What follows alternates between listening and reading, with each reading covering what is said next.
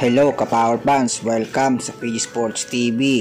Ating pag-uusapan ang susunod na makakalaban ni Carlo Paalam sa finals ng Tokyo 2020 Olympics na si Jalal Yafai ng Great Britain.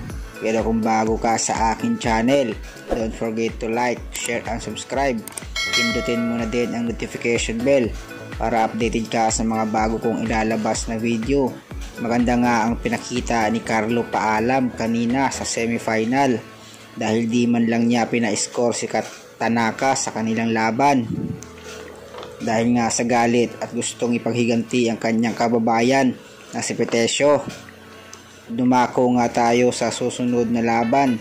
Ang makakalaban ni Carlo Paalam sa final ang taga Great Britain na si Jalay Yafai. At kung kakalkulahin mo ang kanyang mga laban, Talagang flat-footed din ang style. At kung titignan mo ang kanyang records according to Boxrec ay may kartadang 32 wins, 11 loss, 0 knockout. Kung pagkukumparahin mo ang kanilang records ay mukhang patas ang laban. Pero kung titignan mo ang kanilang mga galaw ay talagang lumalamang ang ating kababayan dahil mayroong footwork at marunong gumamit ng ring Mukhang sigurado na nga ang gold medal si Carlo Paalam at ang ating ipagdasal ng kanyang laban ngayong August 7, Saturday, 1pm. Go for gold, Carlo Paalam.